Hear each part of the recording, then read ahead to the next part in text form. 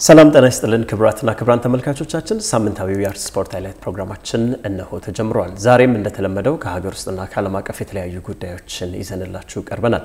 ለመላው የክርስትና ሃይማኖት ተከታዮች እንኳን ለደብረ ታቦር በዓል በሰላም አደረሳችሁ እንላለን። አለም ሰገድ ሰይፉና ፋሲረዲ የዕለተ ሰኞ የአርት ስፖርት highlight ፕሮግራማችንን ይዘን ቀርበናል። ከሀገር ውስጥና ከዓለም አቀፍ የተለያዩ ጉዳዮች እናነሳለን። እንዴት ሰነበትክ አሌክስ? እንዴት ሰነበትክ ፋሲሎ? እንኳን አብሮ አደረሰን ለቡሄ በዓል። ዛሬ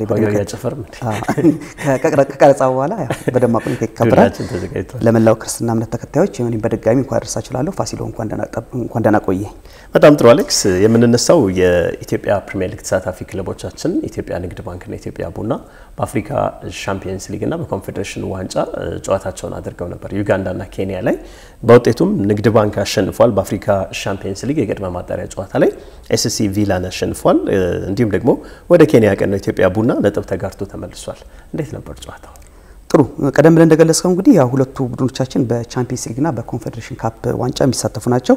እንደሚታወቀው የኢትዮጵያ ንግድ ባንክ የባለፈው ዓመት የኢትዮጵያ ፕሪሚየር ሊግ ሻምፒዮን በመሆኑ ተከትሎ ነው ለቻምፒየንስ ሊግ ድርድር ውስጥ የገባውና በቅድመ ማጣሪያው የኡጋንዳውን ኤስሲ ቪላን ሁለት ለአንድ በሆነ ውጤት ማሸነፍ ችሏል። እንዲሁም በኮንፌዴሬሽን ካፕ የሚጫወተው ኢትዮጵያ ቡና ደግሞ የኢትዮጵያ ዋንጫ በማንሳቱ ነው በዚህ ውድድር ላይ ተሳታፊ የሚሆነው። እንደሚታወቀው የኢትዮጵያ ዋንጫ በዘንድሮ ዓመት የተጀመረ ውድድር እንደሆነ ይታወቃልና ኢትዮጵያ ቡናም ይህን ውድድር ማሳካት በመቻሉ ለዚህ ውድድር መብቃት ችሏል። ቀደም ብለን እንደገለጽከው ከሜዳ ውጭ ከኬንያ ፖሊስ ጋር ተጫውተው ዜሮ ለዜሮ በሆነ አቻ ውጤት ነው የተለያዩት። እንደ ድምር ውጤት ስትመለከተው ሁለቱ ክለቦቻችንም ያስመዘገቡት ውጤት ጥሩ ሊባል የሚችል ነው። ከሜዳ ውጭ በተለይ ኢትዮጵያ ንግድ ባንክ ማሸነፍ ችሏል። ስለዚህ በሜዳው ላይ ደግሞ በቀጣዩ ሳምንት በሜዳው ላይ የሚጫወት ይሆናል። ኢትዮጵያ ቡናም ዜሮ ለዜሮ ነው ውጤት በመለያየቱ እሱም ከሜዳ ውጭ የተመዘገበ ጥሩ ውጤት መሆኑን መመልከት ይቻላል። ከጨዋታው በኋላም ተመልክተ ከሆነ የኢትዮጵያ ቡና ተጫዋቾችና አመራሮች ደስታቸውን በጭፈራ ሲገልጹ ነበረ። በቀጣዩ ሳምንት እነሱም ኢትዮጵያ ቡና በአበበ ቢቂላ ስቴዲየም የሚጫወት ይሆናል። ሁለቱ ቡድኖች ያስመዘገቡት ውጤት ስትመለከት በዚህ መልኩ ሊገለጽ ይችላል። እንደሚታወቀው በተለይ ኢትዮጵያ ቡና እንደ አዲስ የተገነባ team ነው። በርካታ በፕሪሚየር ሊጉ ላይ ይጫወቱ የነበሩ በርካታ ተጫዋቾች ከአስር የሚልቁ ተጫዋቾች ናቸው ቡድኑ ላይ የለቀቁትና ስትመለከተው እንደ ስብስብም በሜዳም ላይ የነበረው እንቅስቃሴ ጥሩ ላይ የሚባል እንቅስቃሴ ነው። በተለይ በጨዋታው መጨረሻ አካባቢ ላይ ጎል ለጎል ሊቆጠር የሚችል ግብ ነው በአጋጣሚ ያመለጣቸውና ያንን ደግሞ ማስቆጠር ቢችሉ በተሻለ መልኩ ውጤታቸውን አስተማማኝ ሊያደርጉ የሚችሉበት ሁኔታ እንዳለ ነው። ግን እንደ ቡድን ቅንጅት ስትመለከተው ገና አዲስ ቲም ከመሆኑ አንጻር የተመዘገበው ውጤት በጣም ጥሩ ነው። የሜዳ ላይ እንቅስቃሴን በመከላከል ረገድም ያለው ነገርም የተሻለ ነገር አለ። አንዳንድ ጊዜ መሀል ሜዳ ላይና ወደፊት ሊሄዱ የሚችሉ ኳሶችን የተፈጠሩትን የቅንጅት ችግሮች ደግሞ በሂደት መቅረፍ ነው የምትችለው። ቀላል ነገር አይደለም። አስር ተጫዋችን የበለጠ ከአንድ team ሲለቅ ያንን እንደ አዲስ አዋህደ ኢትዮጵያ ቡናን የሚመስል የኢትዮጵያ ቡና color ያለው ቡድን ለመፍጠር የሚያስችል እንቅስቃሴ ለመፍጠር ትንሽ አስቸጋሪ ስለሚሆን በዚህ ረገድ የተመዘገበ ውጤት በጣም ጥሩ ነው። በቀጣዩ ሳምንት ደግሞ በአበበ ቢቂላ ስቴዲየም በደጋፊያቸው ፊት ስለሚጫወቱ ምናልባትም ውጤቱ ከዚህ የተሻለ ሊሆን ይችላል ብለህ ማሰብ ይቻላል። ከዛ ውጭ በቻምፒየንስ ሊግ ኢትዮጵያን ወክሎ የተሳተፈው የኢትዮጵያ ንግድ ባንክ ቡድን እንደሚታወቀው ባለፈው ዓመትም በፕሪሚየር ሊጉ ላይ ከፍተኛ ውጤት ማስመዝገብ የቻለ እንዲሁም በእንቅስቃሴ በቅንጅት እንዲሁም በተጫዋች quality በተጫዋቾች ጥራትም የተሻለ ስብስብ የያዘ ቡድን ነው።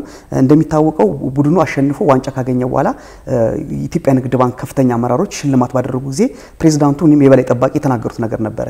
ኢትዮጵያ ንግድ ባንክ በሀገር ውስጥ አይገደብም። በአፍሪካ ቻምፒየንስ ሊግም የተሻለና ከአሁን በፊትም ክለቦቻችን ካስመዘገቡት ውጤት የተሻለ ለማምጣት ጥረት እናደርጋለን ብሏል። ምናልባትም እንግዲህ ጅማሬው ስኬታማ የሆነላቸው ይመስላል። ነገር ግን ይሄ የማጣሪያ ማጣሪያ ስለሆነ ወደ መደበኛው ማጣሪያ ለመግባት ሌላ ወሳኝ ጨዋታዎች ከፊቱ ይጠብቁታል። ምናልባትም ከሜዳቸው በሜዳቸው ላይ የሚያደርጉት ውጤት የተሻለ ከሆነ ጥሩ እንቅስቃሴ ሊያደርጉ ይችላል። ፋሲሉ በጣም ጥሩ አሌክስ።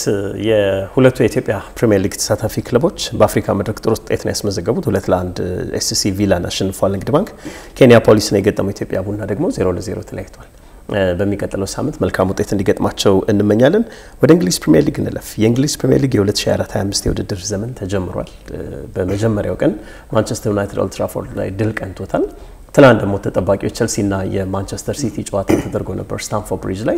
በውጤቱ ማንቸስተር ሲቲ ማሸነፍ ችሏል። ዛሬ ቶትንሃምን እንመለከታለን። ምን አይነት ውጤት ተመዘገበ አሌክስ? ጥሩ ያው እንደም ቀደም ብል እንደገለጽከው የእንግሊዝ ፕሪሚየር ሊግ ውድድር እንግዲህ ከሀገራችን ስፖርት ተመልካቾች ዘንድ በከፍተኛ ጉጉት የሚጠበቅ ውድድር ነው። በተለይ ትላንትና የገለጽከው ማንቸስተር ሲቲ አዲስ አሰልጣኝ ከቀጠረው ከቼልሲ ጋር ነበር የመጀመሪያ ጨዋታዎችን ያደረጉት። በውጤቱም ሲቲ ሁለት ለዜሮ በሆነ ውጤት አሸንፏል።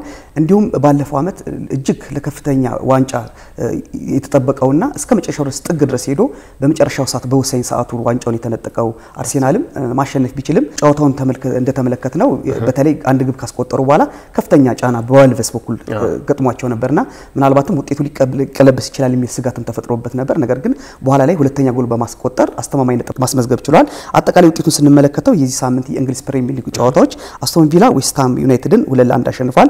ብሬንትፎርድ ክሪስታል ፓላስን ሁለት ለአንድ ሲያሸንፍ፣ ማንቸስተር ሲቲ ቼልሲን ሁለት ለዜሮ አሸንፏል። እንዲሁም ማንቸስተር ዩናይትድ ፉልሃምን አንድ ለዜሮ፣ ኢፕስዊች ታውን በሊቨርፑል ሁለት ለዜሮ ሲሸነፍ፣ አርሰናል ዋልቭስን ሁለት ለዜሮ አሸንፏል። ብራይተን ኤቨርተንን ሶስት ለዜሮ ሲረታ፣ ኒውካስትል ሳውዛምፕተንን አንድ ለዜሮ አሸንፏል። እንዲሁም ኖቲንግሃም ፎረስት ከበርንማውዝ ጋር ዜሮ ለዜሮ ተለያይተዋል።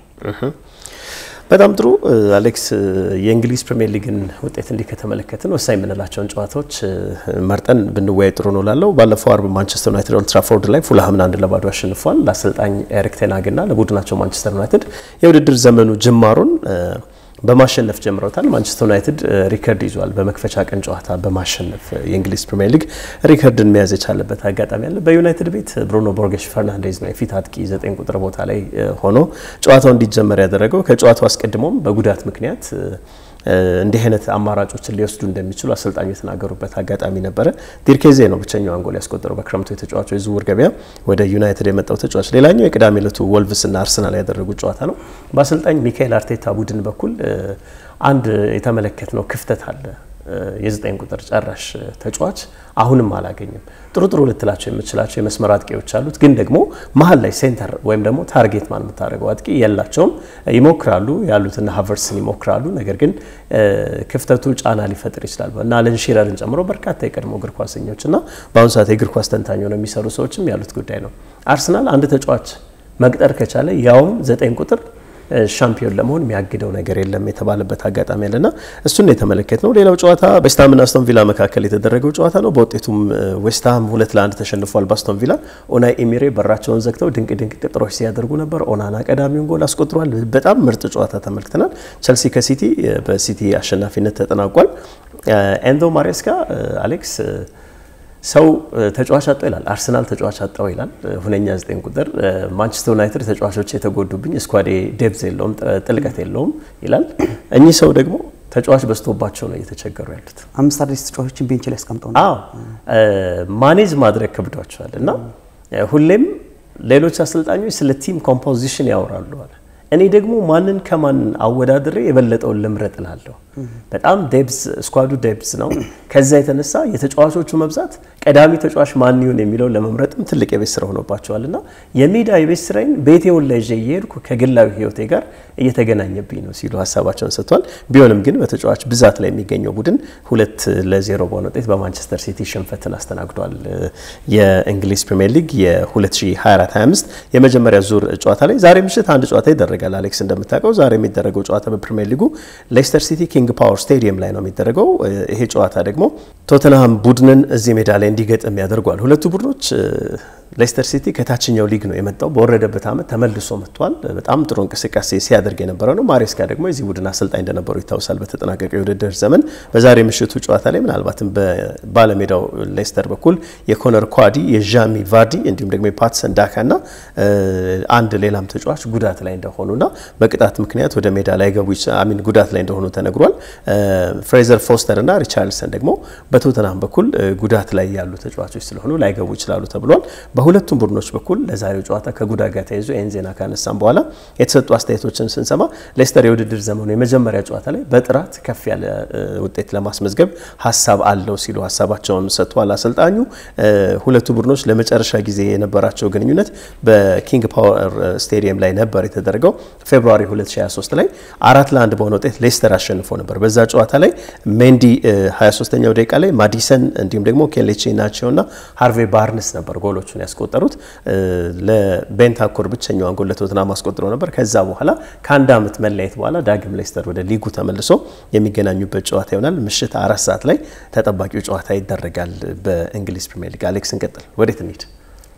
ጥሩ እሱን ካነሳን ያው ቀደም ብለን እንደገለጽከው ሊቨርፑልም ዘንድሮ አዲስ አሰልጣኝ ነው ይዞ ብቅ ያለውና ምናልባት የምናየው ከሆነ አንዳንድ ጊዜ በመጀመሪያ ጨዋታ ላይ መገምገም ይከብዳል። ምክንያቱም በርካታ የአውሮፓ ሀገር ተጫዋቾች ናቸው እዚህ ላይ የተሰባሰቡት። እንደሚታወቀው ደግሞ ባለፈው ጊዜ የክረምቱ መጨረሻ አካባቢ ላይ የአውሮፓ ዋንጫና የኮፓ አሜሪካ ውድድሮች ስለነበሩ በርካታ ተጫዋቾችም በዛ ላይ በዛ ከፍተኛ እንቅስቃሴ ያደርጉ ስለነበር ያን አቅማቸውን በአንድ ሳምንት ላይ ያሳያሉ ተብሎ አይጠበቅም። ከዚህም አንጻር ሊቨርፑልም አይተው ከሆነ የጠበቀውን ያክል አልነበረም። እንቅስቃሴው በተለይ በመጀመሪያው አጋማሽ ላይ ያን ያክል ጠንካራ እንቅስቃሴ ሊባል የሚችል አላሳየም። ነገር ግን ኢፕስዊች ታውንን ሁለት ለዜሮ ማሸነፍ ችሏል።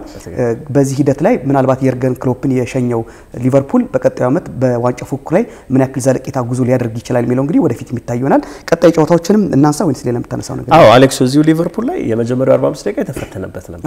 ኢፕስዊች ታውን በጣም ጠንካራ የሚባል የግብ ዕድሎችን የፈጠሩበት ግን ደግሞ ጨራሽ ተጫዋች አለማግኘታቸው እና የሊቨርፑል ግብ ጠባቂ የተሻለ መሆን ኳሶች እንዲድኑ አድርገዋል እንጂ በተለይ በ counter press እያደረጉ በመልሶ ማጥቃት እንቅስቃሴ መጀመሪያው 45 ደቂቃ ላይ በጣም ጫና ፈጥረው ነበር የተጫወቱት። ሁለተኛው 45 ደቂቃ ላይ የጆታና የመሐመድ ሳላ ጎሎች የተሻለ ሆነው ሊቨርፑል እንዲያሸንፍ ረዱት እንጂ ተጨንቋል። አርኔ ስሎት የመክፈቻ ጨዋታቸውን ማሸነፋቸው እሰየው ያስብላል በሊቨርፑል በኩል ነገር ግን ሊቨርፑል አሁንም እንደ squad ጥሩ ጥሩ ብቃት ያላቸው ተጫዋቾች አሉ። ቢሆንም ግን ሉዊስ ዲያዝ ራሱን ከፍ አድርጎ ሊያሳይ የሚጠበቅበት season ነው። የኑኔዝ ነገር ታውቋለህ። ስለዚህ ከዛ ጋር ተያይዞ አሁንም ፊት መስመር ላይ ከወገብ በላይ ያለው ሊቨርፑል መጠናከር ይገባዋል። እንደነ ዶሚኒክ ሶቦስላይ ጥሩ እንቅስቃሴ ያደረገ ተጫዋች ነው በዛ እንቅስቃሴ እና እነሱም ከወገብ በላይ ያለው የሊቨርፑል ጥንካሬ ላይ በደንብ መስራት ይጠበቅባቸዋል ማለት ነው። እንቀጥል፣ ወደ ሴሪያ እንሂድ አሌክስ።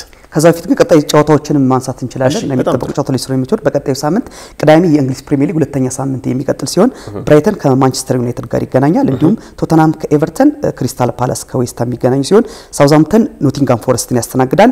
እንዲሁም ፉልሃም ከሌስተር ሲቲ፣ ማንቸስተር ሲቲ ከኢፕስዊች ታውን እንዲሁም አስቶን ቪላ ከአርሰናል ምናልባትም አስቶን ቪላ ከአርሰናል የሚያደርጉት ጨዋታ በቀጣዩ ሳምንት ላይ ከሚጠብቁ ጨዋታዎች በግንባር ቀደምትነት ሊጠቀስ ይችላል። አዎ ያለፈው ዓመት እኮ ዋንጫ ያሳጣቸው ቪላ አርሶ አስቶን ቪላ ነውና ያ ቁስል የደረቀላቸው አይመስልምና ምናልባትም በዚህ ሳምንት ከሚጠበቁ ትልቅ ጨዋታዎች መካከል አስቶን ቪላ ከአርሰናል የሚያደርጉት ይሆናል። ጨዋታው እሁድ ዕለትም ሲቀጥል በርንማውስ ከኒውካስትል፣ ዋልቭስ ከቼልሲ፣ ሊቨርፑል ከብሬንፎርድ የሚገናኙ ይሆናል። በጣም ጥሩ አሌክስ።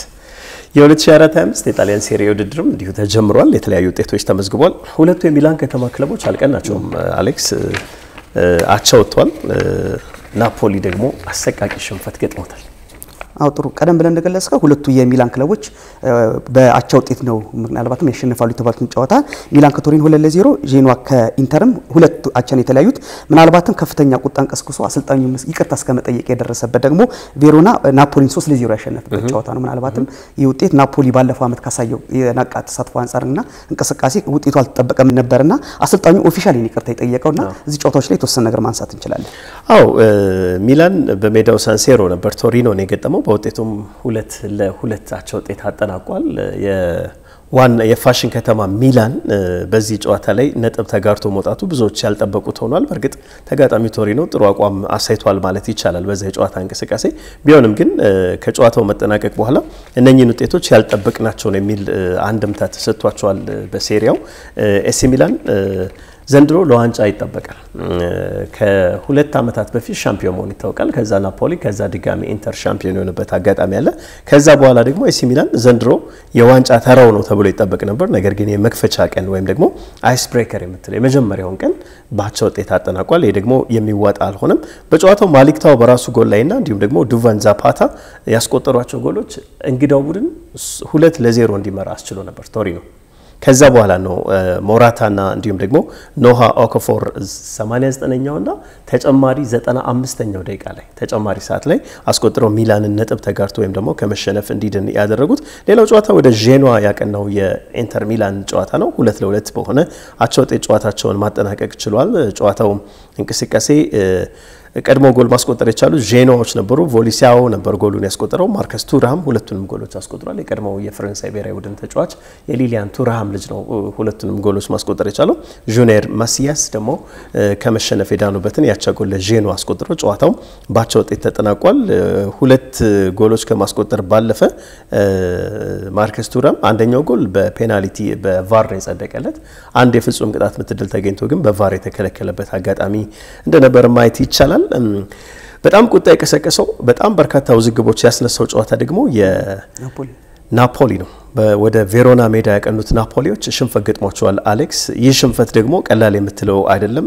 ሶስት ለዜሮ በሆነ ውጤት ነው የካቻምናው ሻምፒዮን ሲሸነፍ እጅግ ረብሻ የተፈጠረበት አጋጣሚ ሆኗል። ከጨዋታው መጠናቀቅ በኋላም አሰልጣኝ አንቶኒዮ ኮንቴ ይቅርታ የጠየቁበት አጋጣሚ እንዳለም ተሰምቷል። የፓብሎ ዛኔቲ ቡድን ነው እንግዲህ ማሸነፍ የቻለው እጅግ ድንቅ የሚባል እንቅስቃሴ ከጨዋታ ብልጫ ጭምር ነው የኔፕልሱን ቡድን ናፖሊን ማሸነፍ የቻለው አሌክስ ቬሮና እንግዲህ አስደናቂ ሆኖ አምሽቷል። ዛሬም ውድድሩ ሲቀጥል ሌቼ ከአታላንታ፣ ጁቬንቱስ ከኮሞ ጨዋታቸውን ያደርጋሉ። ጁቬንቱስ ከኮሞ የሚያደርጉት ጨዋታ አሌክስ ከ21 ዓመት በኋላ ዳግም የሚገናኙበት ነው። ከዛሬ 21 ዓመት በፊት ኮሞ ሲወርድ ከጁቬንቱስ ጋር የመጨረሻውን ጨዋታ ሲያደርግ ጁቪ አሸንፎ እንደነበር ይታወሳል። እና ሴስክ ፋብሪጋስ ደግሞ የዚህ ክለብ ባለቤትም አሰልጣኝም ሆኖ የውድድር ዘመኑን የሚጀምርበት ነው የሚሆነው እና ምናልባትም የአርሰናል የልብ ወዳጆቹና ፋብሪጋዝ አድናቂዎች በአሰልጣኝነት ደግሞ ምን አይነት አቅም ሊኖረው ይችላል የሚለውን በሚገባ የሚመለከቱበት ይሆናል ተብሎ ይጠበቃል። ምን ትጠብቃለህ? ቀድሞ ድንቅ እግር ኳስ ተጫዋቾች ወደ አሰልጣኝነት በመጡበት የመጀመሪያ ዓመት ላይ ስኬታማ ይሆናሉ። አሎንሶን አይተናል። በእርግጥ ወደ ጀርመን ስንሄድ በነገራችን ላይ ስለ ሴስክ ፋብሪጋስ ስታነሳ እጅግ ከማደንቃቸው የአርሰናል ተጫዋቾችና የምንጊዜ የማይረሱ ተጫዋቾች መካከል በጣም ነው የማደንቀው። እንደውም በጣም በተደጋጋሚ ጊዜ የሊግ ስፖርት ጋዜጣ ላይ front page cover ለማውጣት ሁሌ የሚቀናኝ የፋብሪጋስ ነበር። managing editor ሩ ፋብሪጋስ ነበር። የምሬ ነው እና በጣም ጥሩ ብቃት ካላቸው ተጫዋቾች መካከል ከሄነሪ ቀጥሎ እጅግ የተለየ እንትን ማያደንቀው ከባህሪውም አንጻር የፋብሪጋስ በጣም አድናቂ ነኝ። ምናልባትም አሁን ደግሞ የክለብ ባለቤትና አሰልጣኝ ሆኖ ቀጥሏል።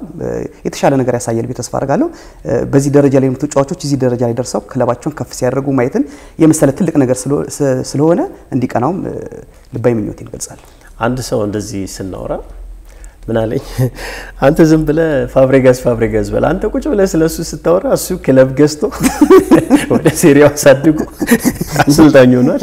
አንተ አሁንም ስለሱ ልታወራ ነው ብሎ እኛም እስካሁን ሊግ ስፖርትን እንጽፋለን ክለብ እየገዛ ለማንኛውም አሌክስ ወደ Spanish ላሊጋ እንሂድ። ዛሬ በጣም ደስ የሚል ቀን ነው። የእግር ኳስ season ተመልሶልናል። በርካታ ወሬዎችም አሉልን እና የ Spanish ላሊጋም ተመልሷል። ሪያል ማድሪድ ነጥብ ተጋርቶቷል። ባርሳ አሸንፏል። ያው የስፔን ላሊጋም እንግዲህ እንደምታውቀው ከፍተኛ ትኩረትና እንትን ካላቸው መካከል በሀገራችን ቤተሰቦች ላይ ልዩ የጨዋታ እንቅስቃሴ ማራኪ ውድድሮች ከሚታዩበት መካከል ትልቅ ውድድር ነው። እንዳልከው በዚህ ሳምንት እንግዲህ ሶስቱም ሊጎች ናቸው ትላልቅ ሊጎች የተመለሱት ከ international game በኋላ። በዘንድሮ በነገራችን ላይ ብዙ ኳስ አላጣንም። ከዚህ በተወሰነ break ነው የነበረው። አውሮፓ ዋንጫ ነበረ፣ ኮፓ አሜሪካ ነበረ፣ ትልቅ ውድድሮችን ተመልክተናል። አሁን ደግሞ በናፍቆት የሚጠበቁት የእንግሊዝ ፕሪሚየር ሊግ፣ የስፔን ላሊጋ እንዲሁም የጣሊያን ሴሪ አም ውድድሮች ተጀምረው እንዲሁም የጀርመን ቡንደስሊጋም ያው ብዙም እኛ ትኩረት ሰጥተን ነው ስለማናወራው ነው እንጂ የጀርመን ቡንደስሊጋም በጣም አስደናቂና ትልቅ ፉክክር የሚታይበት ውድድር እንደሆነ ይታወቃል። ቀደም ብለን እንደገለጽከው ማዮርካ ከሪያል ማድሪድ ጋር አንድ ለአንድ በሆነ አቻ ውጤት ተለያይተዋል። እንዲሁም ባርሴሎና ቫሌንሲያን ሁለት ለአንድ ማሸነፍ ችሏል።